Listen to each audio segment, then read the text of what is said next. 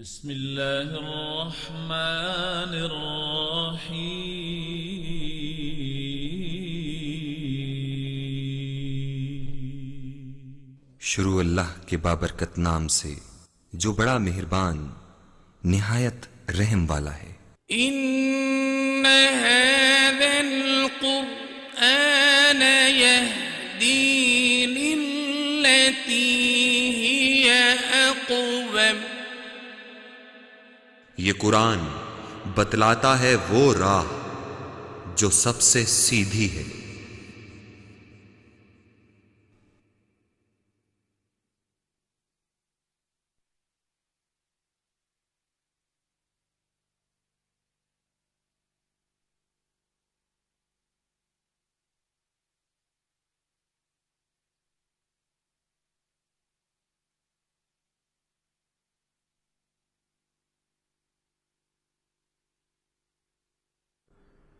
الحمد لله نحمده ونستعينه ونستغفره ونؤمن به ونتوكل عليه ونعوذ بالله من شرور أنفسنا ومن سيئات أعمالنا من يهده الله فلا مضل له ومن يضلله فلا هادي له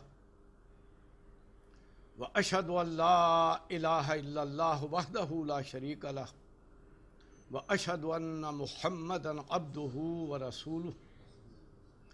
ارسله بالهدى ودين الحق ليظهره على الدين كله. وكفى بالله شهيدا. فصلى الله عليه وسلم تسليما كثيرا كثيرا. اما بعد فاعوذ بالله السميع العليم من الشيطان الرجيم. لقد جاءكم رسول من انفسكم عزیز علیہ ما عنتم، حریص علیکم بالمؤمنین رعوف الرحیم۔ رب اشرح لی صدری ویسر لی امری واحلل عقدۃ من لسانی یفقهوا قولی۔ حضرات، کل آپ نے اس حقیقت کو جان لیا کہ اللہ کو رب ماننے کا تقاضا کیا ہے۔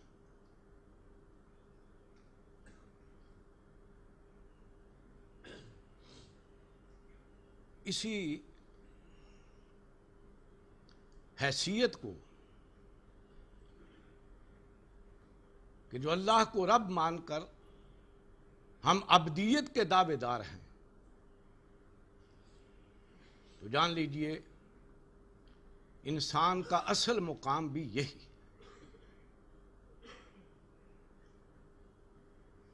آپ کو معلوم ہے کہ انسان کو اللہ تعالیٰ نے اشرف المخلوقات بنایا۔ اپنی جتنی بھی مخلوق ہے، اس میں سے سب سے زیادہ شرف انسان ہی کو دیا۔ اور وہ شرف انسان کی ابدیت میں۔ آپ کو معلوم ہے کہ انسان اللہ تعالیٰ کی سب سے پہلی تخلیق بھی ہے اور آخری بھی۔ یہ بھی مخلوقات میں سے انسان کا معاملہ، باقی تمام مخلوقات میں سے یکتا ہے یونیک کہ بات کی جتنی بھی مخلوقات اللہ نے پیدا کی ہیں، وہ کسی ایک چیز سے پیدا کی لیکن انسان کو اللہ تعالیٰ نے دو وجود دیے ایک اس کا روحانی وجود ہے جو نور الاسر ہے۔ اور وہ ہے جو اللہ تعالیٰ نے انسان کو سب سے پہلے تخلیق کیا۔ ارواح انسانی سب سے پہلی مخلوق۔ اور آپ کو معلوم ہے کہ ارواح کو پیدا کر کے اللہ تعالیٰ نے ان سے ایک عہد لیا۔ اور وہی اصل مقام ہے انسان کا، جس کا وہ اقرار کر کے اللہ کے سامنے آیا۔ ہے آپ کو معلوم ہے کہ اللہ نے پوچھا لستو بربکم؟ کیا میں تمہارا رب نہیں ہوں؟ کالو بلا شہد نہ تو ہم میں سے ہر شخص نے یہ اقرار کیا، کیوں نہیں؟ ہم اس پر گواہ ہیں کہ تو ہمارا رب ہے۔ یہ جو ہم اقرار کر کے آیا ہیں، اللہ تعالیٰ کی ربوبیت کی شہادت دے کر آئے ہیں، اس کا تقاضا کیا ہے کہ واقعی اس کے بندے بن کر یہ زندگی گزارے۔ اور جس کو اللہ تعالیٰ کہہ دے، یہ میرا بندہ ہے جان لیجیے اس سے بڑا کوئی اور شرف نہیں۔ اس لیے آپ کو معلوم ہے کہ نبی اکم صلی اللہ علیہ وسلم کے بارے میں قرآن مجید میں یہاں بھی ذکر ہے، ان کی ذاتی حیثیت کا۔ وہاں تو اللہ تعالیٰ نے انہیں اپنی نسبت ہی دی ہے، یہی نسبت دی۔ آپ کو معلوم ہے سورہ بنی اسرائیل کے شروع میں فرمایا، سبحان اللہ جی اسرا بے ابد ہی من المسجد الحرام المسجد الاقصى پاک ہے وہ ذات جو لے گئی اپنے بندے کو۔ مسجد حرام سے مسجد اقصا تک۔ اگلی صورت میں پھر ذکر ہے۔ الحمد للہ اب دے ہل کتاب سارا شکر صلاح کا ہے جس نے اپنے بندے پر کتاب نازل کی۔ یہاں بھی اسی چیز کو اجاگر کیا۔ اسے آگے آپ کو معلوم ہے سورہ فرقان ہے، وہاں پر بھی یہی۔ تبارک اللہ نزل الفرقان علی اب بڑی بابرکت ہے وہ ذات جس نے اس فرقان کو نازل کیا اپنے بندے صلی اللہ علیہ وسلم۔ اور آپ کو معلوم ہے یہاں اللہ تعالیٰ نے نبی اکم صلی اللہ علیہ وسلم کو اس حیاتی ہی میں آسمانوں کی سیر کروائی۔ جنت اور دوزخ دکھائی۔ صدرات المنتہا تک گئے، پھر ہم کلامی فرمائی۔ وہاں پر بھی ذکر ہے ہی ما اوہا اللہ نے وہی کی، اپنے بندے کی طرف جو اس نے وہی کرنی۔ تھی تو معلوم ہوا کہ اصل مقام ابدیت ہے۔ اور جسے اللہ کہہ دے، میرا بندہ ہے، اس سے بڑی اور کوئی شرف نہیں ہے، اس سے بڑی کو اس سے بڑا کوئی مقام نہیں۔ یہی ہے جسے علامہ اقبال نے بھی بڑے اچھے پیرائے میں بیان کیا ہے۔ عبد چیزیں دگر عبد ہو چیزیں دگر بندہ ہونا اور چیز ہے اور اس کا بندہ ہونا یہ اور چیز ہے۔ ای سراپا انتظار، او منتظر۔ یہ بندہ تو اللہ تعالیٰ کی عنایتوں کا جو ہے منتظر ہے۔ اور اس ابد و ہو کا وہاں انتظار ہو رہا تو یہ ہے اصل مقام، جان لیجیے کہ انسان کا جو اصل مقام ہے، اس میں بھی نبی اکم صلی اللہ علیہ وسلم کو اللہ تعالیٰ نے یکتا مقام دیا ہے۔ آپ کو معلوم ہے کہ تمام انسانیت میں سے ایک ہی انسان کو وہ مقام ملنے والا ہے جسے مقام محمود کہتے ہیں۔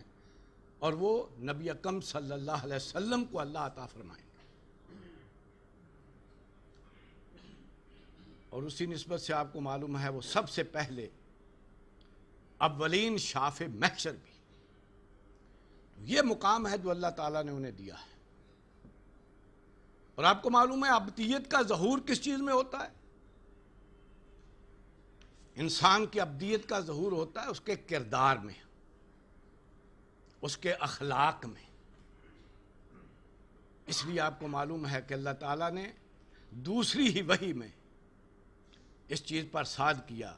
وَإِنَّكَ لَعَلَىٰ خُلُقٍ عَظِيمٍ۔ اے ہمارے رسول، آپ تو نبوت سے پہلے بھی اخلاق کی معراج پر تھے، عظمتوں پر جو ہے، آپ تو پہلے ہی سے جو ہے وہاں پہنچے ہوئے۔ اور یہ وہ پہلو ہے انسانیت کا جو آپ کو معلوم ہے۔ کہ جس کے لیے نبی اکم صلی اللہ علیہ وسلم فرماتے ہیں کہ انما بوستو لے اتم میں مکار اخلاق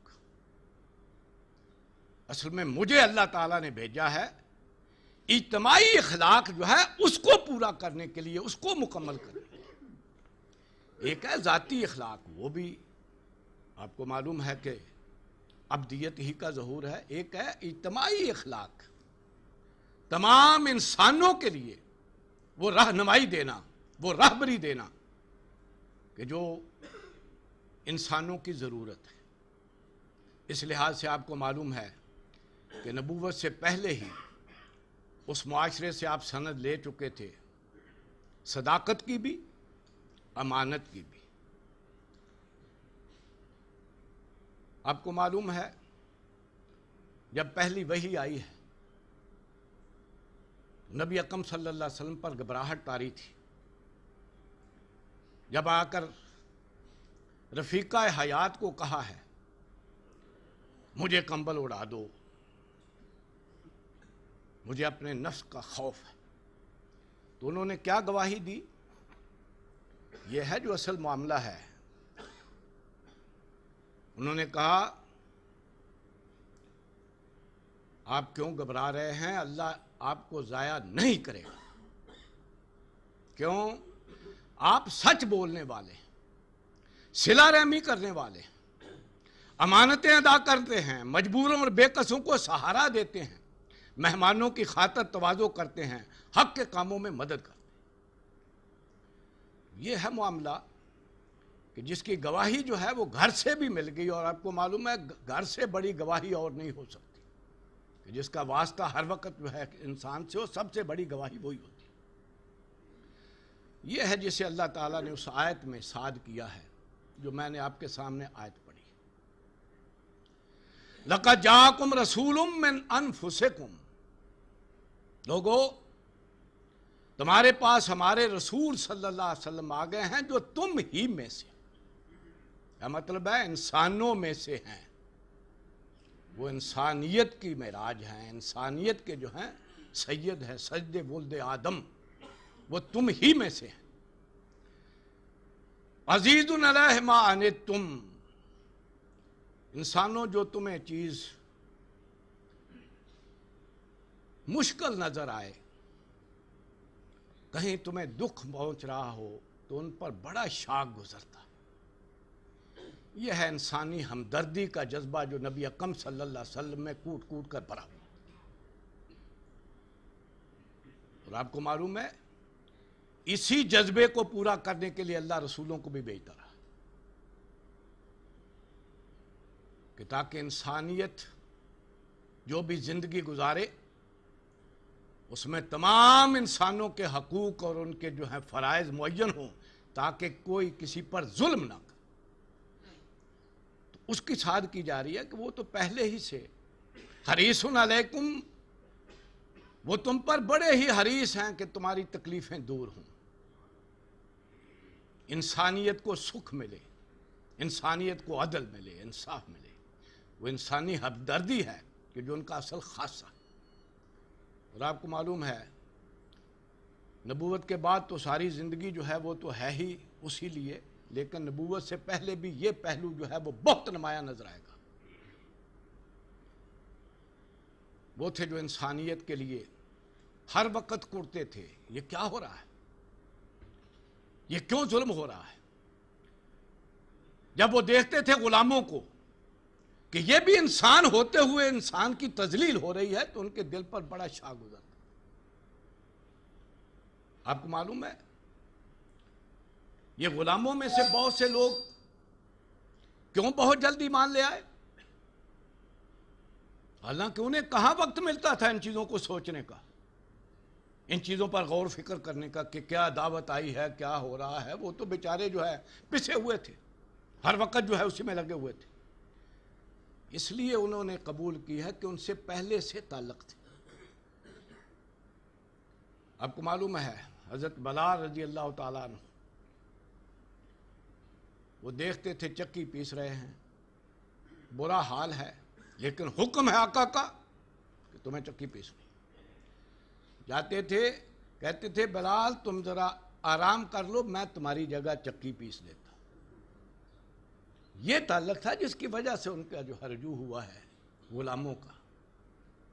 اور جتنی بھی تجارت کی ہے، جتنا بھی کاروبار کیا ہے، جو کچھ بھی کمایا ہے، اسے جمع نہیں کیا۔ وہ لوگوں کی ضرورتیں پوری کرنے پر لگاتے ہیں۔ یہاں تک کہ وہ واقعہ بھی آپ نے سنا ہوگا۔ ایک دن نبی اکم صلی اللہ علیہ وسلم بڑی ہی غمگینی کی حالت میں گھر آئے۔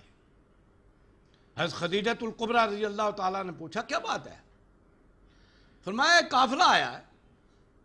ان کے بدن پر کپڑے نہیں ہیں، پاؤں میں جوتے نہیں ہیں، کھانے کے پاس ان کا ہے نہیں، میرے پاس ہے کچھ نہیں، میں غم جو ہے مجھے ان کی حالت دیکھ کر جو ہے میں غم سے جو ہے نڈال ہو رہا ہوں۔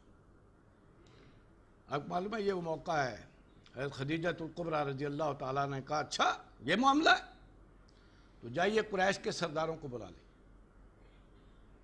آپ گئے، ان میں سے کچھ سرداروں کو بلا لائے۔ انہوں نے اتنی دیر میں اشرفیاں نکال کر ڈھیر لگا دیا سہن کے اندر۔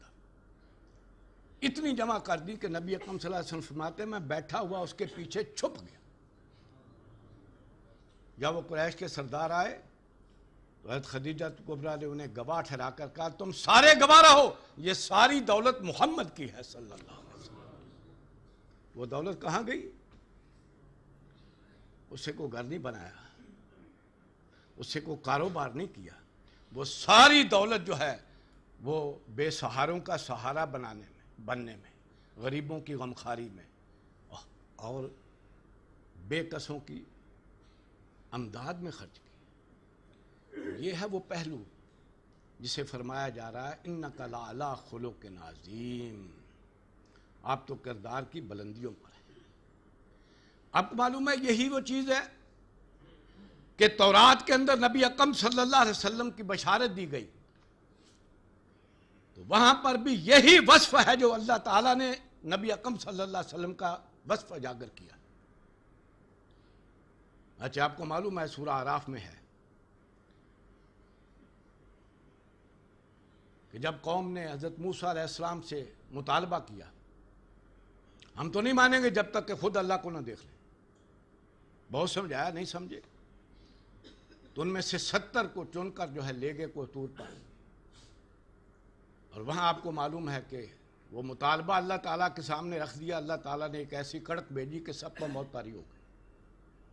اس وقت حضرت موسیٰ علیہ السلام نے جو ہے عرض کی کہ اللہ ان بیوقوفوں کی وجہ سے جو ہے تو عذاب میں ہمیں ڈالے گا۔ یہ نادان ہے اللہ، تیری طرف رجوع کرتے ہیں، تو معاف فرما دے۔ اور ہمارے لیے اس دنیا میں بھی اور آخرت میں بھی نیکی لکھ دے۔ اس کے جواب میں اللہ تعالیٰ نے فرمایا، ایک تو میری رحمت ہے جو تمام انسانوں کے لیے عام ہے، لیکن ایک میری رحمت خاص ہے اور وہ ان کے لیے ہیں۔ اللہ جی نجتب رسول النبی المی جو پیروی کریں گے میرے اس رسول امی کی۔ اللہ یجدونہ مکتوبا عندہم فی التورات والانجیل۔ جس کو وہ لکھا ہوا پائیں گے تورات میں بھی اور انجیل میں۔ یامرہم بالمعروف وینہاہم عن المنکر۔ ان کی صفات کیا ہوں گی؟ وہ لوگوں کو برائی سے روکیں گے اور نیکیوں کا حکم دیں۔ یہ کیا پہلو ہے؟ آؤ ظلم سے باز آ جاؤ۔ اس سے لوگوں کو روکیں گے۔ اور لوگوں کے ساتھ حسن سلوک کا حکم دیں لوگوں کے ساتھ حسن سلوک کرو بجائے سے انہیں لوٹنے کی وہ یہل الحم الطیبات و یحرم الحم الخبائش وہ ان کے لیے طیبات کو حلال کریں گے اور جو بھی بری چیزیں ہوں گی خبیص انہیں حرام کریں گے۔ وہ یادا انہم اسراہم اور ان سے ان کے بوجھ اتاریں گے۔ یہ ہیں بوجھ جو جب بھی ظلم کا نظام آتا ہے، تو جن کے ہاتھ میں اقتدار آ جاتا ہے، جن کے ہاتھ میں مفادات ہوتے ہیں، وہ دوسروں کو ڈنگر ڈور بنا دیتے ہیں۔ اور ایسی ایسی رسمیں ایجاد کرتے ہیں اپنی دولت کی نمائش کے لیے کہ لوگوں کے لیے زندگی گزارنی دوبر ہو جاتی تو وہ وصف فرمایا، وہ آئیں گے جو بنی نو انسان کی بھلائی لے کر آئیں گے، ان کے بوجھوں کو ختم کریں گے۔ بالغلال اللہ قانت علیہم، ان کے گلے میں جو توق پڑے ہوئے ہوں گے، ان کو وہ اتاریں گے۔ یہ ہے پہلو جس کی طرف وہاں پر بھی اشارہ کیا گیا رسول اللہ صلی اللہ علیہ وسلم کے یہ ہے وہ ذاتی نسبت کہ جو قرآن مجید نے اجاگر کی ہے نبی اکم صلی اللہ علیہ وسلم کی۔ اور جان لیجیے، اصل جو رتبہ ہے، اصل جو مقام ہے وہ ذاتی حیثیت میں ہے نبی اکم صلی اللہ علیہ وسلم۔ رسالت تو منصب، اچھی طرح جان۔ جو اللہ تعالیٰ نے اپنے انسانوں میں سے کچھ انسانوں کو چن کر دیا۔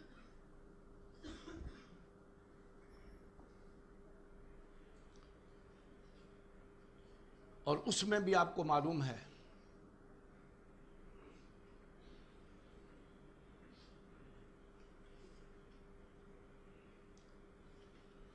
کہ اللہ تعالیٰ نے جتنے بھی رسول بھیجے، ان کی مختلف نسبتیں ہیں، ان میں سے العظم جو رسول ہیں وہ آپ کو معلوم حضرت ابراہیم علیہ السلام کی کیا نسبت ہے؟ خلیل اللہ۔ حضرت موسیٰ علیہ السلام کلیم اللہ۔ حضرت عیسیٰ علیہ السلام روح اللہ۔ اور حضرت محمد صلی اللہ علیہ وسلم رسول اللہ۔ جان لیجیے، یہ ہے نسبت جسے اللہ تعالیٰ نے انہیں عطا کیا۔ اور واقعی جو اللہ تعالیٰ نے منصب رسالت دیا ہے، اس کا حق اگر کہیں ادا ہوا ہے پوری نو انسانی کی تاریخ میں، تو وہ پہلے اور آخری رسول ہیں محمد الرسول اللہ صلی اللہ علیہ وسلم، جنہوں نے وہ حق رسالت اس دنیا پر چلتے ہوئے تکلیفیں جھیل کر، قدم بقدم چل کر وہ پورا کیا ہے، وگرنہ پہلے رسولوں کا منصب جو ہے، وہ تو اللہ موضوع سے پورا کرتا رہا اس لیے اصل ان کا مقام جو ہے، اس منصب کے لحاظ سے بھی رسول اللہ ہے صلی اللہ علیہ وسلم۔ آپ کو معلوم ہے، اللہ تعالیٰ رسول کس غرض کے لیے بھیجتا رہا؟ اللہ تعالیٰ نے تمام رسولوں کے بارے میں فرمایا ہے۔ لقد ارسلنا رسولنا بالبینات۔ وانزلنا معهم الكتاب والمیزان لیقوم الناس بالقسط۔ ہم تمام رسولوں کو بھیجتے رہے ہیں بینات دے کر۔ ایسی نشانیاں دے کر کہ قوم پہچان لے، لوگ پہچان لے، یہ اللہ کے رسول کیوں؟ اگر انسان پہچانے نہیں، کوئی قوم پہچانے نہیں رسول کو، تو حجت قائم نہیں ہوتی۔ اور اللہ تعالیٰ اپنے رسولوں کے ذریعے سے حجت قائم کرتا رہا ہے۔ اچھا یہ بھی قرآن مجید میں صاف صاف فرمایا رسولوں کے بارے میں۔ رسولم مبشرین و منذرین لے اللہ یقون اللہ سے اللہ حجتم بعد الرسل۔ اللہ تعالیٰ اپنے رسولوں کو مبشر اور منظر بنا کر بھیجتا رہا تاکہ لوگوں کے پاس قیامت کے دن کوئی عذر نہ رہ جائے۔ رسولوں کے بھیجنے کے بعد۔ تو اچھی طرح جان لیجیے، رسول پہچان لیتے تھے اللہ کے رسولوں انسان پہچان لیتے تھے جن کی طرف اللہ رسول بھیجتے تھے کہ یہ اللہ کے رسول ہیں۔ ماننا نہ ماننا اس وجہ سے نہیں تھا کہ وہ جانتے نہیں تھے۔ اچھی طرح جان لیجیے اللہ تعالیٰ وہ معوضے دے کر اپنے رسولوں کو بھیجتا تھا، وہ بینات دے کر بھیجتا تھا کہ سر قوم پہچان لیتی تھی اللہ کے رسول۔ اس وجہ سے نہیں مانتے تھے کہ پتہ نہیں چلتا۔ تھا ہاں اس کے شواہد موجود ہے آپ کو معلوم ہے نبی اکم صلی اللہ علیہ وسلم کے بعد سب سے زیادہ ذکر قرآن مجید میں کن کا ہے؟ تو موسیٰ علیہ السلام کا، ان کو رسول کن کی طرف بنا کر بھیجا؟ فرعون کی طرف کیا فرعون نہیں جانتا تھا کہ اللہ کے رسول ہیں؟ وہ اچھی طرح جانتا ناچہ قرآن مجید میں اس کی شہادت موجود ہے۔ اللہ تعالیٰ گواہی دے رہے ہیں جو دلوں کے بیت جانتے ہیں۔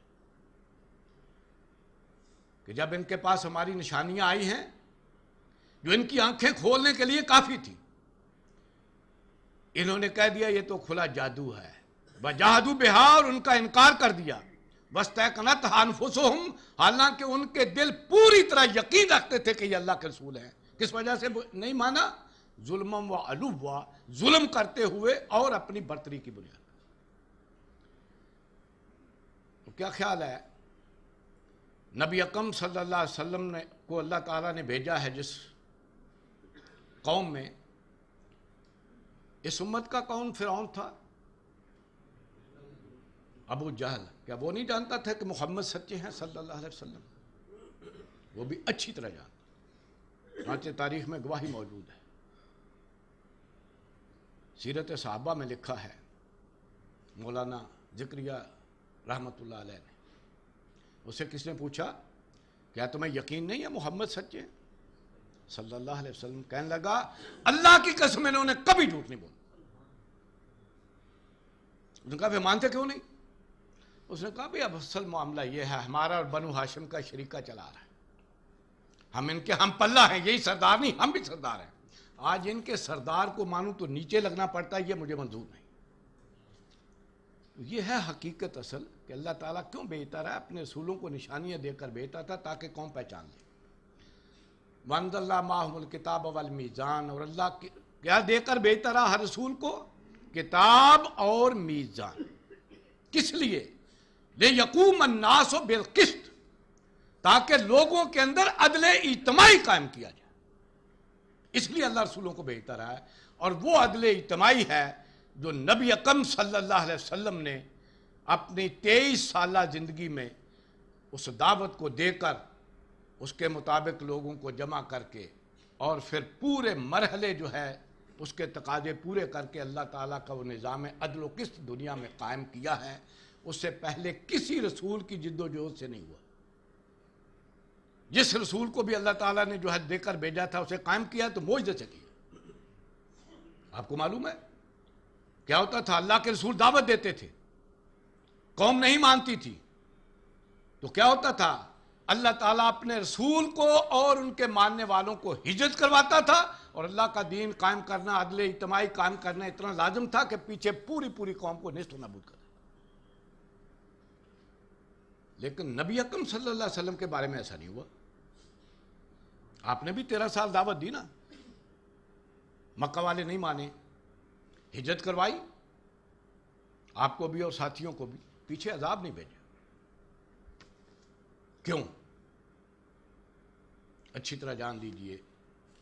اگر اللہ یہاں بھی پیچھے عذاب بھیج کر دین غالب کر دیتا تو ہمارے لیے کوئی نمونہ نہ رہتا۔ ہمارے لیے کوئی اسوا نہ رہتا۔ اس لیے اللہ تعالیٰ نے ایسا نہیں کیا، بلکہ اپنے رسول کو ہجرت کروا کے ساتھیوں کو جو ہے ساتھ نکال کر پھر ان سے قدم بقدم پوری جد و جہد کروا کے اللہ کے دین کو غالب کیا تاکہ بعد والوں کے لیے نمونہ رہے۔ یہ ہے شان جو نبی اکم صلی اللہ علیہ وسلم کی یکتا شان ہے سارے رسولوں میں، کہ اللہ تعالیٰ نے وہ رسالت کا منصب جو دیا تھا، اس کا حق اگر ادا ہوا ہے انسانی سطح پر تو نبی اکم صلی اللہ علیہ وسلم پہلے اور آخری رسول ہیں جن کے ذریعے سے۔ اور آپ کو معلوم ہے نبی اکم صلی اللہ علیہ وسلم وہ رسول ہیں کہ جتنے بھی پہلے رسول آئے ہیں وہ خاص قوموں کی طرف رسول تھے۔ قرآن مجید میں جن بھی رسولوں کا ذکر ہے وہ یہی ہے۔ حضرت علیہ السلام کو بھی قوم کی طرف رسول بھیجا۔ حضرت حود علیہ السلام کو قوم کی طرف رسول بھیجا۔ حضرت شعیب علیہ السلام کو اپنی قوم کی طرف رسول بھیجا، لیکن نبی اکم صلی اللہ علیہ وسلم کو کسی قوم کے لیے رسول نہیں بھیجا۔ وما ارسلنا کا اللہ کافت اللہ سے بشیرم و نذیرہ پوری انسانیت کی طرف اگر کوئی رسول آیا ہے، تو وہ نبی اکم صلی اللہ علیہ وسلم ہے وہ واحد رسول ہے جسے پوری انسانیت کے لیے اللہ رسول بنا کر تو یہ ہے ان کا مقام رسولوں میں اور آپ کو معلوم ہے، اللہ تعالیٰ انسانوں کی رہنمائی کے لیے اپنی ہدایت نازل کرتا رہا ہر رسول۔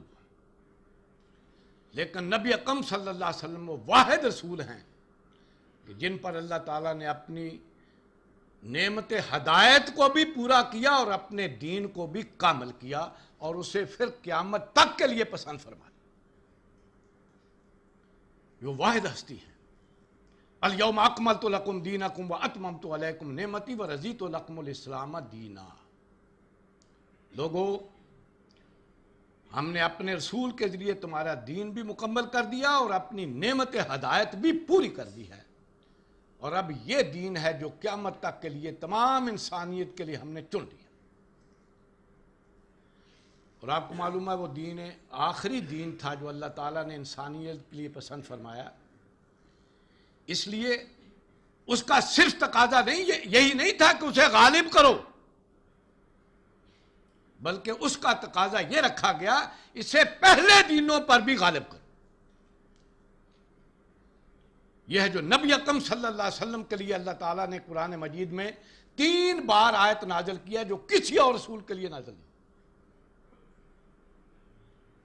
والذی ارسل رسولہ بالہدا و دین الحق لیظہرہ علی الدین کلہ۔ وہ ہے اللہ جس نے بھیجا اپنے رسول صلی اللہ علیہ وسلم کو بالہدا، وہ کامل ترین ہدایت دے کر، الہدا۔ آپ کو معلوم ہے ساری پہلی کتابیں جو ہیں وہ اسی کا حصہ تھی چنانچہ قرآن مجید میں آتا ہے ان کے بارے میں۔ اوتو نصیبم من الکتاب۔ انہیں تو کتاب کے کچھ حصے دیے گئے تھے۔ پوری کامل کتاب جو ہے، پوری ہدایت جو ہے، وہ نبی اکم صلی اللہ علیہ وسلم کو ملی ہے۔ تو فرمایا، وہ بالہدا دے کر بھیجا وہ دین الحق، اور حق کا دین دے کر بھیجا۔ کس لیے؟ الدین کل تاکہ اسے غالب کیا جائے پورے کے پورے نظام زندگی پر سارے دینوں پر۔ کیوں؟ یہ آخری دین ہے جو اللہ تعالیٰ نے پسند کیا پوری انسانیت کے لیے اور قیامت تک آپ کو معلوم ہے یہ تیسری آیت کب نازل ہوئی؟ تیسری دفعہ۔ نو ہجری میں نازل۔ جبکہ جزیرہ نما عرب پر اللہ کا دین غالب ہو گیا۔ اللہ کی حکمیت قائم ہو گئی۔ اللہ تعالیٰ کے رسول کو مان لیا گیا۔ اللہ کو تسلیم کر لیا گیا۔ اپنا رب اور نبی اکم صلی اللہ علیہ وسلم کو اپنا رسول اور حدی مان لیا گیا۔ تیسری بات جب وہ آیت نازل کی ہے اس وقت یہ فیصلہ فرمایا ہے کہ اب یہ دین جو ہے، یہ صرف جزیرہ نمائے عرب تک غالب کرنے کے لیے نہیں بھیجا، صرف باقی سارے دینوں پر بھی غالب کرنے کے لیے بھیجا، اس لیے اس دین کو سارے دینوں پر غالب کر وہاں یہ الفاظ ہیں قرآن مجید میں۔ کاش ہم کبھی اس طرف بھی توجہ کریں، تو پھر پتہ چلے گا کہ نبی اکم صلی اللہ علیہ وسلم کا فریضہ کیا تھا؟ انہیں اللہ نے حیثیت کیا دی، انہیں کیا دے کر بھیجا تھا اور اس کی نسبت سے ہماری ذمہ داری کیا؟ یہ الفاظ ہیں سورہ توبہ میں۔ یہاں یہ آیت نازل ہوئی ہے، اس سے پہلے۔ وَقَاتَلُ الَّذِينَ لَا يُؤْمِنُونَ بِاللَّهِ وَلَا بِالْيَوْمِ الْآخِرِ۔ اے مسلمانوں تمہاری جنگ ختم نہیں ہوئی۔ یہ سمجھو کہ جزیرہ نما عرب پر اللہ کا دین غالب ہو گیا۔ اور نبی اکم صلی اللہ علیہ وسلم کا مقصد ویسط پورا ہو گیا۔ ابھی یہ معاملہ پورا نہیں ہوا۔ تمہاری جنگ جاری رہنی چاہیے۔ کن سے؟ لا یومنون باللہ ولا بالیوم الاخر۔ ان لوگوں سے، ان انسانوں سے جو اللہ کو نہیں مانتے، آخرت کے دن کو نہیں مانتے۔ ولا یحرمون ما حرم اللہ ورسولہ۔ اور جو ان چیزوں کو حرام قرار نہیں دیتے جسے اللہ نے حرام کر دیا اور اس کے رسول نے حرام قرار دیا۔ جان لیجیے یہ واحد موقع ہے قرآن مجید میں۔ یہاں حرمت کی نسبت نبی اکم صلی اللہ علیہ وسلم کی طرف بھی کی گئی۔ ورنہ آپ کو معلوم ہے یہ اختیار اللہ کا ہے حرام کرنے کا اور حلال کرنے کا۔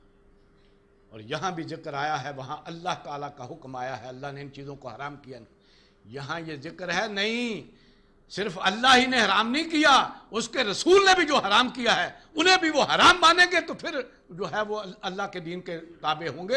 اگر اس کو حرام قرار نہیں دیتے تو ان کے ساتھ بھی تمہاری جنگ جاری رہنی چاہیے۔ یہ تیسرے الفاظ ہیں۔ بلا یہ دین دین الحق۔ اور تمہاری جنگ ان سے بھی جاری رہنی چاہیے۔ جو اپنے دین کو اب دین الحق قبول نہیں کرتے کون؟ من الذین اوت الکتاب۔ وہ بھی کہ جن کو ہم نے پہلے کتابیں دے رکھی۔ ہاں جی حضرت موسیٰ علیہ السلام کس کا دین لے کر آئے تھے؟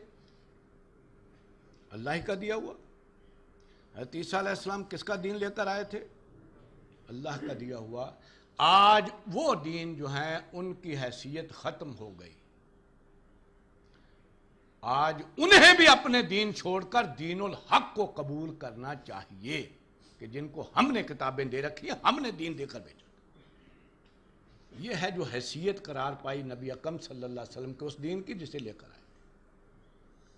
اور اگر نہیں مانتے، وہ لوگ کہ جو پہلے دین کے حامل ہیں، کتابوں والے ہیں، اب نہیں چھوڑتے جزیت این یدم و ہم ساگرون اپنے ہاتھ سے جزیہ دیں اور چھوٹے ہو کر رہیں۔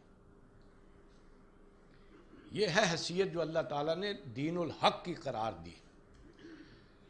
دین الحق ہونا چاہیے جو رائج ہو، وہ نظام ہونا چاہیے جو اللہ نے نبی اکم صلی اللہ علیہ وسلم کو دے کر بھیجا ہے۔ وہ عدل و قسط کا نظام، لوگوں کے اندر اس کی بنیاد پر عدل و قسط ہونا چاہیے۔ اگر پہلی کتابوں والے نہیں مانتے، ان پر جبر نہیں کیا جائے گا۔ لیکن وہ اپنے دین کو چھوڑ کر اسے مذہب بنا لیں۔ اب وہ دین وہ نہیں رہے جسے جی چاہے، مانے، ہم جبر نہیں کریں گے۔ اپنی رسومات عبودیت، اپنی نماز روزہ جیسے جی چاہے ادا کریں، اپنی رسمیں جیسے جی چاہے کریں، لیکن دین الحق کے تابع رہنا ہوگا۔ کیونکہ اللہ تعالیٰ نے یہ دین الحق ہے جو پوری انسانیت کے لیے پسند کیا۔ اب اسے غالب ہونا چاہیے، نظام اس کا۔ ہو وہ نہیں مانتے تو اپنے دین کو مذہب بنا لیں، اپنا عقیدہ جو جی چاہے رکھیں، اپنی نمازیں جیسے جی چاہے پڑھیں، اپنی رسمیں جیسے جی چاہے کریں۔ لیکن عدل و قسط کا وہ نظام ہوگا جو اللہ نے اپنے رسول کو دیکھ کر بھیجا ہے۔ دین الحق کی صورت میں وہ غالب ہونا چاہیے اور انہیں اس کے نیچے ہو کر جو ہے جزیہ دے کر اس کے تابع ہو کر رہنا چاہیے۔ یہ ہے حیثیت اس دین کی جو اللہ تعالیٰ نے نبی اکم صلی اللہ علیہ وسلم کو دے کر بھیجا۔ اور آپ کو معلوم ہے، نبی اکم صلی اللہ علیہ وسلم نے اس دین کو غالب کر کے جزیرہ نمائے عرب کی حد تک تمام ان لوگوں سے جو اس وقت موجود تھے حجت الوداع کے موقع پہ ان سے گواہی بھی لے لی۔ وہ گواہی جو ہر رسول کو قیامت کے دن دینی ہے۔ وہ نبی اکم صلی اللہ علیہ وسلم یہی گواہی لے گئے۔ پوچھا، اللہ حل بلغ تو لوگوں، میں نے اللہ کا پیغام پہنچا دیا۔ کیا جواب دیا؟ جو حاضرین تھے، سوال ایک کیا، جواب تین دیے۔ نشہدو، اے اللہ کے رسول ہم گواہ ہیں۔ ان کا قد بلغتا و ادیتا و نسہتا آپ نے پہنچا ہی نہیں دیا، حق امانت بھی ادا کر دیا۔ اور حق خیر خواہی بھی ادا کر دیا۔ یہ حق خیر خواہی کیا ہے؟ جان لیجیے، کتنا بھی اعلیٰ سے اعلیٰ نظریہ ہو، کتنا بھی اچھا سے اچھا پیغام ہو، اگر اس پر عمل کر کے نہ دکھایا جائے، تو اس کی کوئی حیثیت نہیں ہوتی، بلکہ اسے خیالی جنت کہا جاتا تو نبی اکم صلی اللہ علیہ وسلم جو پیغام لے کر آئے، جو دے کر گئے ہیں، وہ خیالی جنت نہیں دے کر گئے، اس پر عمل کر کے بھی لوگوں کے لیے نمونہ دے کر گئے۔ اس کا حق خیر خواہی بھی ادا کیا اب یہ وہ حق خیر خواہی ہے جو اس امت کے ذمے لگا کر گئے۔ اس لیے کیا فرمایا؟ جب لوگوں نے گواہی دی فل یبلغ شاہد الغائبا اب جو بھی یہ گواہی دے رہے ہیں کہ اللہ تعالیٰ نے اپنے رسول کو جو دے کر بھیجا تھا، وہ پہنچا بھی دیا، حق امانت بھی ادا کر دیا، اس پر عمل کر کے بھی دکھا دیا۔ اب ان کی ذمہ داری ہے ان تک پہنچائیں جن تک نہیں پہنچا۔ یہ ہے حیثیت جو اللہ تعالیٰ نے اس امت کو دی ہے۔ اسی نسبت سے اللہ تعالیٰ کے وہ رسول، آخری رسول ہونے کی نسبت سے اس امت کو بھی اللہ تعالیٰ نے نوازا ہے۔ اور ان کو خیر امت قرار دیا ہے وہ اس وجہ سے کہ جو اللہ تعالیٰ نے اپنے رسول کے ذریعے پیغام پہنچایا، وہ ان کی ذمہ داری لگائی کہ اب یہ کام تمہیں کرنا اس لیے آپ کو معلوم ہے، سورہ حج کی آخری دو آیات ہیں۔ اس لحاظ سے بڑی اہمیت کی حامل ہے۔ کہ جس ترتیب سے قرآن مجید نازل ہوا ہے، اس ترتیب میں یہ پہلا خطاب ہے، یا ایو اللہ دینا آمنو کے سیدھے سے۔ پہلی دفعہ اللہ تعالیٰ نے امت مسلمہ کو خطاب فرمایا۔ ماننے والوں کو بحثیت امت۔ اور اس خطاب میں ان کے انفرادی فرائض بھی جو ہے، پورے کے پورے بیان کر دیے۔ اور آخری امت ہونے کی جو حیثیت ہے، وہ بھی معین کر دی اور اس کا تقاضا بھی رکھ دی انفرادی حیثیت سے کیا تقاضا رکھا؟ یا ایو الذین آمنوا ارکعوا واسجدوا وعبدوا ربکم وفعلوا الخیر لعلکم تفلحون۔ اے ماننے والو، رکوع کرو، سجدہ کرو یعنی ارکان اسلام ادا کرو۔ وابدو ربکم، اور پھر اپنے رب کی بندگی کرو، پوری زندگی میں اس کی ابدیت اختیار کرو۔ وفل الخیر، اور بلائی کے کام کرو، بنی نو انسان کے کام آؤ۔ بجائے ان پر ظلم کرنے کے، بجائے ان کو لوٹنے کے، بجائے انہیں دھوکہ دینے کے، ان کے ساتھ احسان کرو۔ ان کے ساتھ بلائی سے پیش آؤ۔ لال کم تفلے ہوں تاکہ تم فلا پالو یہ ہیں تین تقاضے جو ہر بندہ مومن سے جو ہے اللہ تعالیٰ کو مطلوب ہیں۔ اگلی آیت میں فرمایا بجاہد فی اللہ حق کا جہاد اے مسلمانوں، اب تمہیں اپنے ہی لیے نہیں جینا۔ بلکہ اللہ کی راہ میں جہاد کرو جیسے جہاد کا حق ہے۔ یہ سب سے گاڑی آیت ہے، جہاد کے موضوع پر اچھی طرح جان لیجیے قرآن میں جہاد کا حق ادا کرو جیسے جہاد کرنے کا حق۔ کیوں؟ ہوج تباہ کم اس اللہ نے تمہیں سلیکٹ کر لیا۔ اس اللہ نے تمہیں پسند کر لیا۔ یہ ہے نبی اکم صلی اللہ علیہ وسلم کے آخری رسول ہونے کی وجہ سے۔ اور واقعی حق رسالت ادا کرنے کی وجہ سے جو ہم پر فریضہ عائد ہوا اور جس کی وجہ سے اللہ تعالیٰ نے ہمیں یہ نسبت دی ہے، ہمیں یہ مقام دیا کہ اللہ تعالیٰ نے تمہیں پسند کر لیا ہے۔ یہ وہی لفظ ہے جو ہم نبی اکم صلی اللہ علیہ وسلم کے لیے استعمال کرتے ہیں۔ آپ کو معلوم ہے کہ نبی اکم صلی اللہ علیہ وسلم کی دو نمایاں شانیں ہیں۔ ایک ہے محمد مصطفیٰ صلی اللہ علیہ وسلم۔ یہ ہے نبوت۔ وہ الاستفاع ہیں۔ اللہ کے چنیدہ جن میں سب سے اونچا مقام جو ہے، انہی کا۔ اور ایک ہے احمد مجتبا صلی اللہ علیہ وسلم۔ یہ ہے رسالت، اس لیے یہی نام ہے جو پہلی کتابوں میں آیا ہے، کیوں؟ ان کی اصل حیثیت رسول اللہ ہے۔ اس لیے وہ نسبت ہے جو یہاں پر جو ہے، امت کے لیے بھی وہی لفظ لایا گیا۔ ہوج تباکم اس اللہ نے تمہیں بھی تباہ کر لیا، تمہیں بھی سلیکٹ کر لیا۔ یہ وہ مقام ہے جو ہمیں ملا ہے نبی اکم صلی اللہ علیہ وسلم کے خاتم النبیین ہونے کی وجہ سے، آخری رسول ہونے کی وجہ سے۔ کہ اللہ تعالیٰ نے اس امت کو بھی شرف دیا ہے کہ اسے تمام امتوں پر فضیلت دی۔ اس لیے آپ کو معلوم ہے کون تم خیرہ امت اخرجت للناس۔ اے مسلمانوں، تم وہ بہترین امت ہو جسے اللہ نے انسانوں کے لیے برپا کیا۔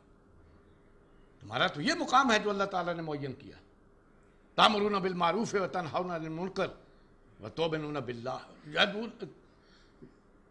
کنتم خیر امت اخرجت للناس؟ تامرون بالمعروف و تنہون عن المنکر و تومنون باللہ۔ کہ تم لوگوں کو جو ہے بلائی کا حکم دو، برے کاموں سے روکو۔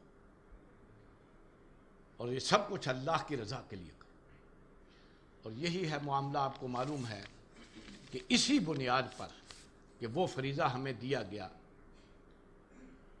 ہمیں امت وسط جو ہے اللہ تعالیٰ نے قرار دی بکزال کا جالنا کم امتم وسطن ہم نے تمہیں امت وسط قرار دیا ہے۔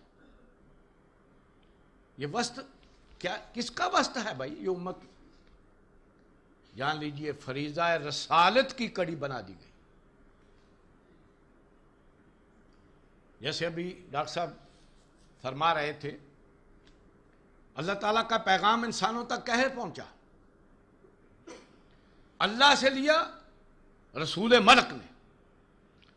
وہ پہنچاتا رہا رسول انسان تک۔ اور نبی اکم صلی اللہ علیہ وسلم سے پہلے جتنے بھی رسول آئے ہیں وہ کسی قوم کی طرف خاص رسول تھے، وہ بنفس نفیس و پیغام کو قوم تک پہنچا دیتے تھے، حق رسالت پورا ہو جاتا تھا۔ ذمہ داری رسالت کی پوری ہو جاتی۔ لیکن نبی اکم صلی اللہ علیہ وسلم کو اللہ نے کسی قوم کے لیے نہیں بھیجا، کسی زمانے کے لیے نہیں بھیجا۔ وہ تو قیامت تک کے لیے انسانوں کے لیے رسول ہیں اور ہر زمانے کے لیے رسول ہیں۔ اس لیے اس پیغام کو پہنچانے کے لیے اللہ نے اپنے رسول کے ذریعے ایک امت تک پہنچایا اور پھر اس امت کی ذمہ داری لگائی کہ ہر دور میں اب انہیں ہی یہ پیغام پہنچانا ہے۔ اس لیے اللہ تعالیٰ نے اس رسالت کی کڑی بنا دیا، اس وقت میں زنجیر کی ایک کڑی انہیں بھی بنا دیا۔ کس کے لیے؟ لتکون شہداء الناس و یقون رسول علیکم شہیدہ جیسے ہمارے رسول نے گواہی دی ہے تم پر اللہ کے دین کی، تم گواہ بن جاؤ باقی انسانیت۔ تو یہ ہے ہماری وہ نسبت جو نبی اکم صلی اللہ علیہ وسلم کے رسول ہونے کی وجہ سے اللہ تعالیٰ نے ہمارے لیے قائم کی ہے اور ہمیں خیر امت قرار دیا اب خیر امت ہونے کا تقاضا کیا؟ یہ ہے میرے اور آپ کے سوچنے کا معاملہ۔ دیکھیے، سب سے پہلا تقاضا یہ ہے کہ اگر ہم نے انہیں رسول مانا ہے تو ان کی حیثیت ہر بندہ مومن کو اپنی جان سے بھی زیادہ پیارا ہونا چاہیے۔ اس کا پہلا تقاضا یہ۔ اگر تم مانتے ہو واقعی کہ اللہ نے تمہیں وہ رسول دیے کہ جن کے بارے میں میں نے عرض کی نا، وہ پہلے اور آخری رسول ہیں۔ جن کا لقب بھی رسول اللہ، جن کی حیثیت بھی رسول اللہ قرار دی گئی۔ اور فریضہ رسالت بھی انسانی سطح پر پوری تگ و دو کر کے، جہاد کر کے اللہ تعالیٰ کی رسالت کا فریضہ بھی ادا کیا تو صرف انہی نے کیا۔ اس نسبت سے ہمارا معاملہ جو ہے، وہ ہے کہ اب ان کو ماننے کا تقاضا یہ ہے کہ قرآن مجید نے قرار دیا ہے، النبی اولا بالمومنین من انفسہم و ازواجہ امہاتہ ان کو ماننے کا پہلا تقاضا یہ ہے، آخری رسول ماننے کا، اللہ کا رسول ماننے کا، کہ تمہاری، ان کے ساتھ نسبت جو یہ ہے، اپنی جانوں سے بھی زیادہ پیارا ہونا چاہیے، محبوب ہونا چاہیے، اور ان کی ازواج متحرات کو اللہ تعالیٰ نے تمہاری مائیں قرار دے دی۔ یہ وہ حب رسول کا تقاضا ہے۔ جو ہم پر اب عائد ہوتا ہے۔ اور آپ کو معلوم ہے، اللہ تعالیٰ نے یہ حیثیت نبی اکم صلی اللہ علیہ وسلم کی قرار دی ہے کہ اب کسی صاحب ایمان کو نہ اللہ تعالیٰ کی محبت حاصل ہو سکتی ہے جو اس کے ایمان کا تقاضا ہے، اور نہ اس کے گناہوں کی بخشش ہو سکتی ہے جب تک کہ وہ رسول اللہ صلی اللہ علیہ وسلم کی اتباع خیال نہ کرے۔ کو لازم کر دیا ہے ان کی ذات کے ساتھ، ان کے رسول ہونے کے ساتھ۔ ناچہ قرآن مجید میں آپ کو معلوم ہے، یہ قرار دے دیا گیا۔ کلین کن تم توحبون اللہ۔ اے ایمان والو، اگر تم چاہتے ہو کہ اللہ تمہیں محبوب بنا لے، تمہیں اس کی محبت مل جائے۔ اور آپ کو معلوم ہے، یہ ایمان کا خاصہ ہے۔ اس وقت تک اللہ تعالیٰ کے ذات پر ایمان کامل نہیں ہوتا۔ جب تک کہ شدید ترین محبت اللہ سے نہ ہو، بندہ مومن۔ والذین آمنوا اشد حبا للہ۔ تو وہ محبت اگر تم چاہتے ہو، تو فرمایا فتبعونی میرا راستہ اختیار کرو، میری اتباع اختیار کرو۔ یحببکم اللہ اللہ تمہیں بھی محبوب بنا لے گا۔ تمہیں بھی محبت حاصل ہو جائے گی۔ وہ یک فرلا کم جنوبہ کم اور اللہ تمہارے بھی گناہ معاف فرما دے گا۔ واللہ غفور الرحیم اللہ تو ہے ہی بخشنے والا رحم کرنے تو جان لیجیے، یہ ہے ان کی حیثیت ہمارے لحاظ سے جو ہمیں سوچنے کی۔ ہے ایک تو ہے وہ جان سے بھی زیادہ محبت، ان کا مقام۔ اور وہ مقام آپ کو معلوم ہے کہ یہاں تک قرآن مجید میں بیان کر دیا گیا۔ یا ایوہ الذین آمنو لا ترفعوا اسواتکم علی صوت النبی۔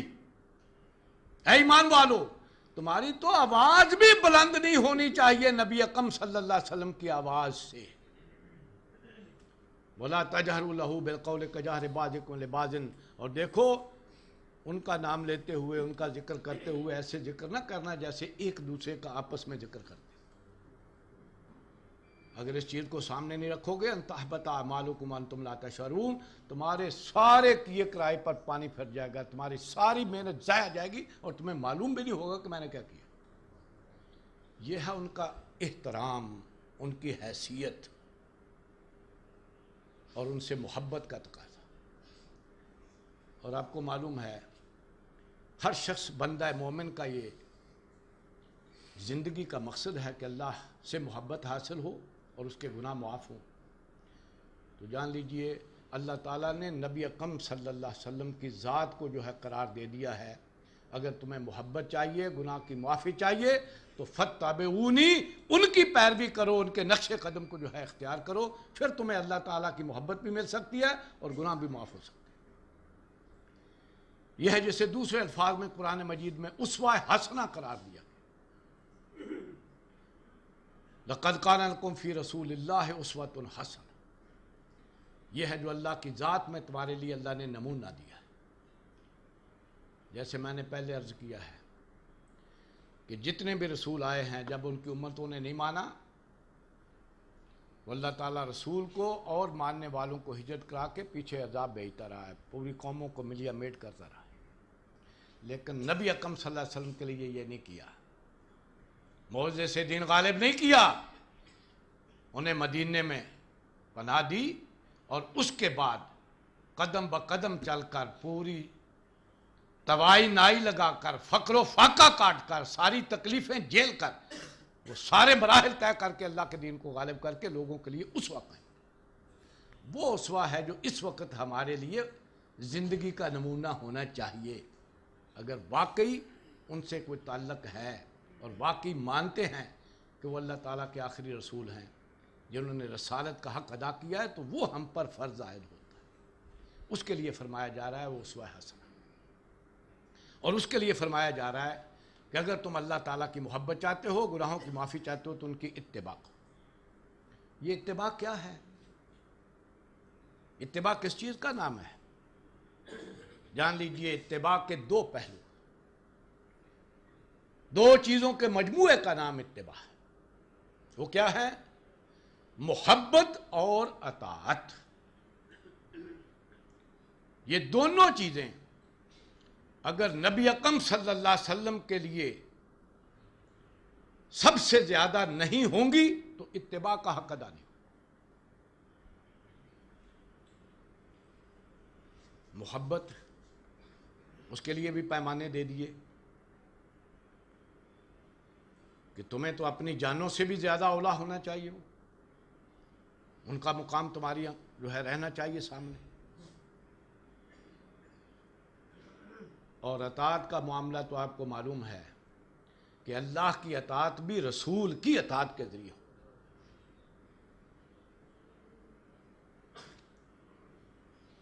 اب محبت کا تقاضا کیا ہے؟ ہم تو دعویٰ تو کرتے ہیں ان کی محبت کا۔ اس کے کبھی کبھی گن بھی گاتے ہیں۔ لیکن کبھی وہ پیمانہ بھی اپنے اوپر نافذ کیا کہ واقعی وہ مجھے اللہ تعالیٰ کے بعد جو ہے وہ سب سے زیادہ محبوب ہیں۔ اپنی ذات سے بھی زیادہ محبوب ہیں۔ میں اس کے لیے ایک پیمانہ دے رہا ہوں۔ ذرا اس پہ اپنے آپ کو دیکھ لیجیے اور پھر یہ جان لیجیے اگر اس پیمانے پر پورے اتر، نہیں اترے تو نہ اللہ کی محبت حاصل ہوگی، نہ گناہوں کی معافی ملے۔ کیوں؟ اس کا لازمی نتیجہ اتباع ہے اور اتباع کا جزو لازم محبت۔ دیکھیے، ہر شخص یہ سوچے، وہ زندگی میں کون سی اپنی روش اختیار کرتا ہے زندگی گزارنے کی؟ کیوں بھائی کون سا انسان لباس اختیار کرتا ہے، کون سی بود و باش اختیار کرتا ہے، کون سی وضع قطع جو ہے اختیار کرتا ہے زندگی گزارنے میں؟ جو اس کے نفس کو پسند ہو یا اور کوئی؟ اس کے نفس کو اچھی لگے وہی کرتا ہے یا اور کوئی؟ اور اگر اس کی چاہت، اس کے نفس کی پسند نبی اکم صلی اللہ علیہ وسلم کی پسند کے تابع نہیں ہے، تو اس کی محبت کا دعویٰ جھوٹا۔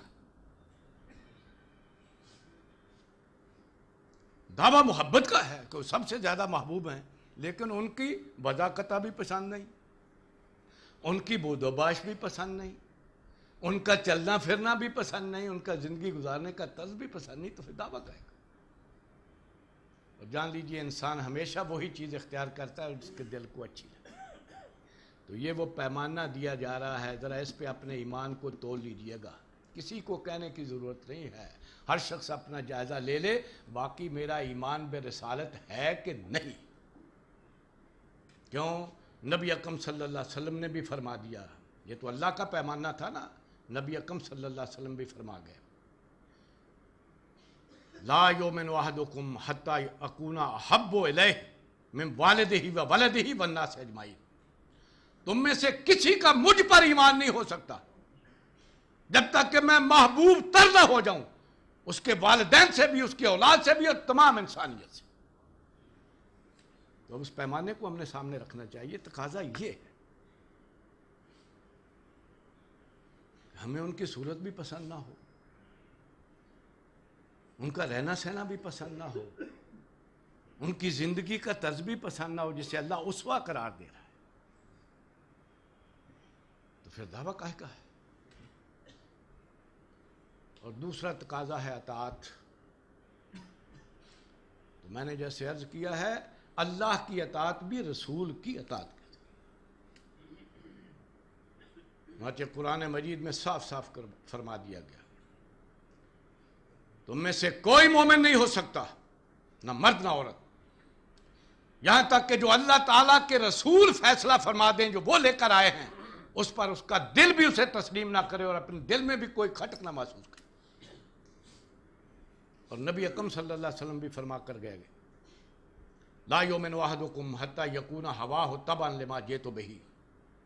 تم میں سے کوئی مومن نہیں ہو سکتا جب تک کہ اس کی ہوائے نفس تابع نہ ہو جائے اس کے جو میں لے کر آیا۔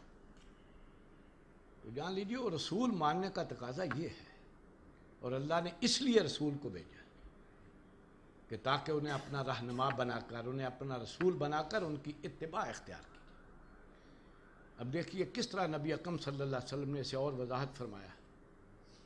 آپ نے فرمایا، من تشبہ بے قومن فاہو منہم مجھ سے دعویٰ کرنے والے کہ میں انہیں رسول مانتا ہوں۔ اپنا جائزہ لے لیں۔ اگر میری مشابت اختیار نہیں کرتے تو میرے ساتھ کوئی تعلق نہیں ہے۔ جن کی وہ مشابت اختیار کر رہے ہیں، وہ ان کا تعلق انہیں سے۔ یہ ہے پیمانہ جو نبی اکم صلی اللہ علیہ وسلم نے کہا۔ یہ محبت ہے، جو تقاضا ہے ان کو رسول ماننے کا اور ان کی اتباع کا۔ یہ تو ہے وضاقتہ میں۔ اللہ تعالیٰ کے رسول دین کون سا دے کر گئے ہیں۔ وہ دین الحق آخری دین جو اللہ نے پسند کیا پوری انسانیت کے لیے، وہ کس لیے دے کر گئے تھے؟ کہ اس کتاب کو پڑھتے رہو، اس کی تعریفیں کرتے رہو۔ نہیں اس لیے دے کر بھیجا تھا، اسے غالب کرو سارے ادھیان پر اور سارے دینوں پر۔ آج وہ دین کہاں ہے؟ کیوں بھائی دنیا میں کہیں ہے۔ اور دعوے دار ہم ان کو ماننے کے۔ ان کو رسول ماننے کے۔ ان کی رسالت کو وہی مانا ہی نہیں جا رہا۔ آج برا نہ مانیے۔ اللہ نے تو اس دین کو بھیجا تھا کہ پہلی کتابوں والے بھی اسی دین کو اپنا دین قرار دیں اور اپنے دین کو مذہب بنا لیں اگر نہیں مانتے تو۔ آج ہم ان کے دین کے تحت اپنے دین کو مذہب بنا کر جیزیہ دے کر زندگی گزار رہے ہیں۔ یا تو کہہ دیجیے نہیں۔ اور اپنے دین کو چند عقیدے اور نمازوں تک رکھ کر سمجھ لے ہیں پورا حق ادا ہو رہا اللہ نے یہ دین دے کر بیٹھا تھا۔ اس لیے انہیں بھیجا تھا۔ انہیں آخری رسول بنایا ہے اس لیے کہ یہ دین ہے جو اللہ نے پسند کر لیا پوری انسانیت کے لیے۔ اب اس دین کو جو دے کر رہا ہوں، قائم کر کے گیا ہوں، اسے قائم رکھو۔ اور اگر یہ کبھی قائم نہ ہو تو تمہاری ذمہ داری ہے امتی ہونے کی، اسے پھر قائم کرو۔ اگر یہ کرو گے تو میری امتی ہوگے امتی کی نسبت تو تب ملے گی۔ اور یہ نسبت ہے۔ جس نے نبی اکم، جس کا نبی اکم صلی اللہ علیہ وسلم نے اپنے فرمان میں بھی ذکر کیا۔ اور یہ نسبت ہے جس کے لیے ہمارے دل میں بھی کوئی خواہش آنی چاہیے۔ یہ نسبت ہے جس کے لیے ہمارے اندر بھی ولولہ پیدا ہونا چاہیے ان کے امتی ہونے کی ناطے۔ آپ نے فرمایا، یا لیتنی لکی تو اخوانی کاش میری ملاقات ہو اپنے بھائیوں سے۔ صحابہ کو بڑا تعجب ہوا۔ انہوں نے پوچھا، اللہ کے رسول، ہم آپ کے بھائی نہیں ہیں۔ آپ کن کا ذکر کر رہے ہیں؟ فرمایا، بالا، کیوں نہیں؟ تم بھی ہو، لیکن تم ہی نہیں ہو۔ قومی یجیون بعدکم۔ وہ لوگ بھی جو میری امت میں تمہارے بعد بھی آئیں گے، کیا کریں گے؟ یومنون بی ایمانکم، وہ مجھ پر ایمان لائیں گے جیسے تم ایمان لائے ہو۔ وَيُصَدِّقُونِ تَصْدِيقَكُمْ، وہ میری تصدیق کرے گے جیسے تم نے تصدیق کی ہے۔ وَيَنْصُرُونِ نَصَرَكُمْ، اور وہ میری مدد کریں گے جیسے تم نے مدد کی۔ یہ کون سی مدد تھی جو صحابہ نے کی تھی بھائی؟ کوئی ذاتی؟ ذات کے لیے تو نبی اکم صلی اللہ علیہ وسلم نے فاقے کاٹے ہیں، کسی کے آگے ہاتھ نہیں پھیلایا۔ یہ مدد تھی وہ اللہ کے رسول ہونے کی ذمہ داری، جو اللہ نے ان کے ذمے لگایا تھا، اس کو پورا کرنے کی مدد۔ اس مشن میں اپنی جانیں کھپائی ہیں۔ جو کہ فرض عائد کیا گیا تھا اس وقت بھی لوگوں کے لیے اور بعد والوں کے لیے بھی۔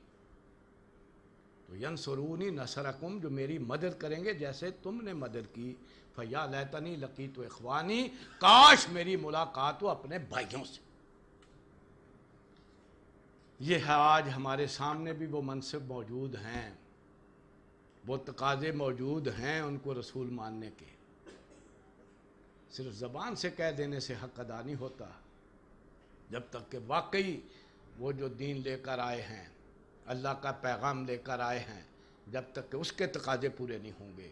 اس کو اللہ کی زمین پر غالب نہیں کرنے کے لیے ہم جد کریں گے تو نسبت قائم نہیں ہوگی۔ پھر وہ اتباع کا جو ہے معاملہ وہ پورا نہیں ہوگا۔ اور جان لیجیے، یہ لازم ہے۔ یہ اللہ تعالیٰ نے ہر امتی کے ذمے لگایا ہے۔ یہ بھی ہمیں غلط فہمی ہے۔ یہی کام چھوڑا ہے تو یہیں تک پہنچ گئے۔ ہم نے یہ کام اب کیا، کس حد تک جو ہے اپنے ذمہ لیا ہوا ہے بلا ہمارا یہ کام مولوی کرے اور فضیلت ہمیں ملے۔ یہی ہے نا۔ کام تو مولوی کرے، فضیلت ہمیں ملے۔ شرف امتی ہونے کا ہمیں ملے، لیکن کام مولوی صاحب کریں۔ ہم ان کا خرچہ ورچہ دے دیں گے، اللہ اللہ خیر صلی یہ ہے جو ہم نے اپنی ذمہ داری نہیں سمجھی جس کی وجہ سے یہاں تک پہنچی۔ جان لیجیے، اللہ تعالیٰ کے رسول صلی اللہ علیہ وسلم نے کسی امتی کو مستثنا نہیں کیا اس سے۔ تمام امتیوں کے ذمہ لگایا ہے۔ جو یہ کام کریں گے، وہ میرے امتی ہونے کا شرف انہیں ملے گا۔ مگر نہ امت میں پیدا ہونے سے کچھ نہیں ہوتا۔ جب تک کہ امتی ہونے کی ذمہ داری نہ ادا کرے۔ اور وہ ذمہ داری ہے اس دین کی جو اللہ کے رسول دے کر گئے ہیں، اسے قائم رکھو یا اسے قائم کرو۔ اور اس کے لیے آپ نے یہاں تک عمومیت کی، بلغو انی ولو آیا تن اے میرے امتیوں کوئی اس میں مستثنا نہیں ہے۔ جس کے پاس ایک ہاتھ بھی پہنچ جائے وہی آگے پہنچانے والا بن جائے۔ یہ ہے ذمہ داری اچھی طرح ہم اسے ٹھیکے پہ دے کر بیٹھے ہوئے ہیں، سیب پہ دے کر بیٹھے ہوئے ہیں، لیکن فضیلت کے خود دعوے تھا۔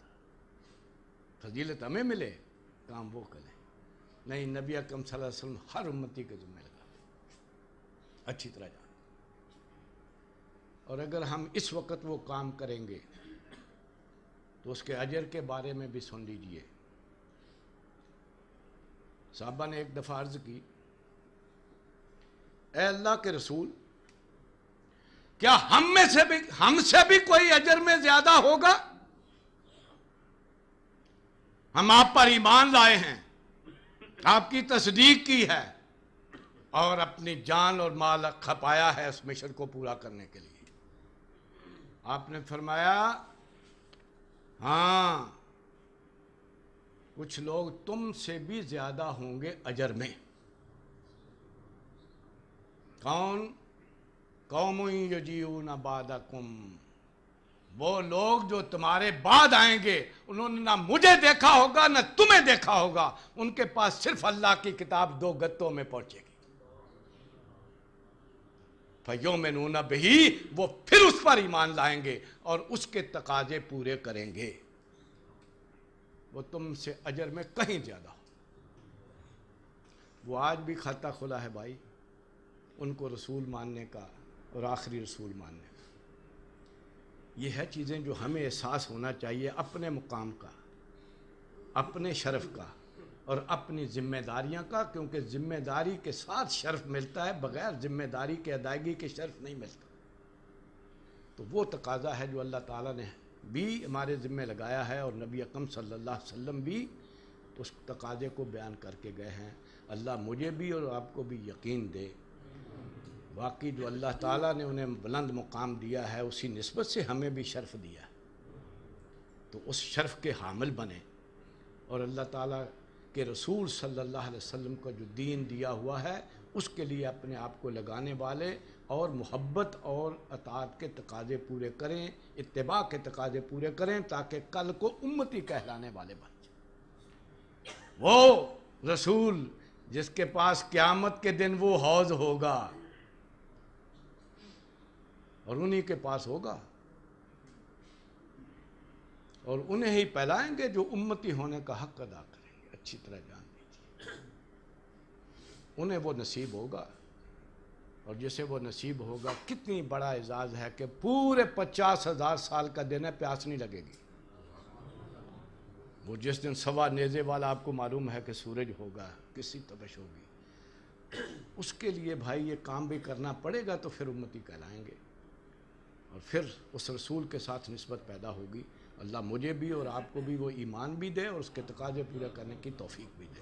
بارک اللہ علی ولکم فی القرآن العظیم و رفانی و یاکم بالآیات و ذکر